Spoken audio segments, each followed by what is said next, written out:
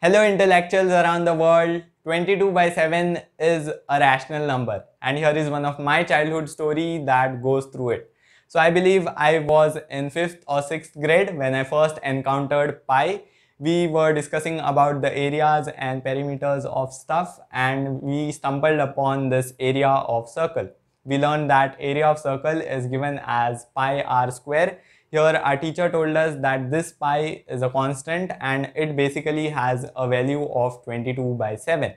Okay. And she went on to end this class on a beautiful note. She said that this pi is an irrational number. Now we already had a bit of idea about number system and we knew what she meant. Okay.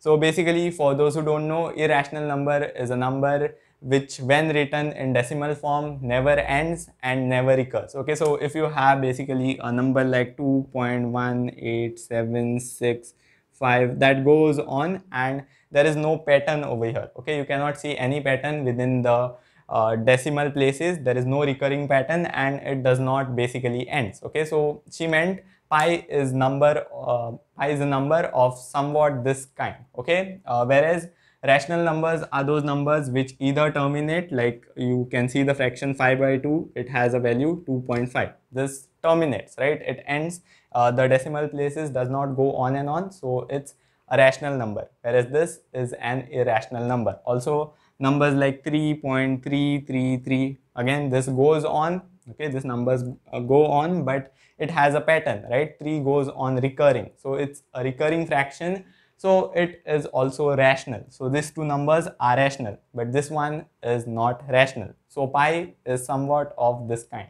okay?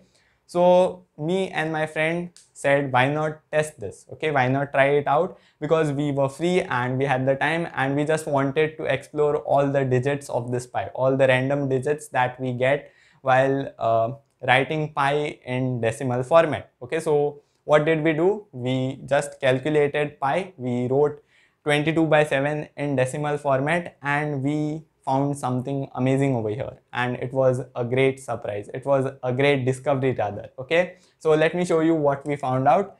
So let's take our 22 by 7 over here. Okay. So let's calculate. Let's do the math. So 7 3s are 21. Okay. Add a decimal point 0. 7 1s are 7 okay. 30 7 4s are 28 again you're left with 2 again a 0 and 7 2s are 14 again a 6 okay. Now we were curious enough to go on and on. We just wanted uh, we had the free time. We just wanted to find out the digits all the random digits as long we were not as long as we were not bored. Okay. So let's go on as we did in the past okay so 7 8 are 56 minus this you'll get 4 again add a 0 47 what's that? 7 5 are 35 minus 50 so 7 7 are 49 now here you can note an amazing thing. Okay so you get 10 over here again.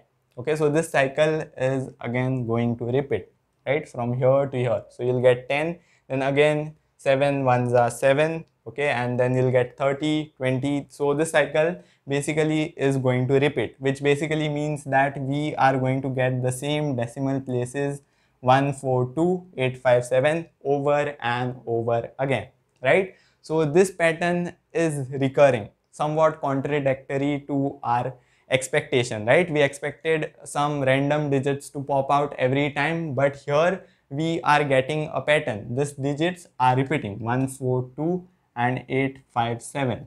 Okay, this will go on repeating. So 22 by 7 is a recurring fraction, which means that it is rational. Okay, so it was indeed a great discovery. We didn't go to tell our teacher, but I came back home very happy, excited about this I opened up a new book, wrote in the title of that book, My Discoveries, hash 1 and I wrote the first thing in that book, pi is a rational number. Okay, I didn't give any credits to my benchmate, sorry. And I wrote this very own proof of mine. Okay, I said that this digits will go on recurring and you'll have 3 point 142857 this is recurring so 22 by 7 or a pi should be a rational number okay? Now later that day I realized that we were living in the 21st century and there is no way somebody couldn't have pointed this out before me and my friend at least somebody on Twitter okay? So i had to do a little bit of research which meant i had to read my math textbook for the first time and also had to do some web searches. After the end of the research okay i was able to make two important conclusions one is that both me and my teacher were wrong so i was wrong when i claimed that pi is a rational number and she was wrong when she said that pi equals 22 by 7 so in order to conclude, I will say that 22 by 7 is a rational number. As you can see, it's a recurring fraction. So it is a rational number and pi is still an irrational number.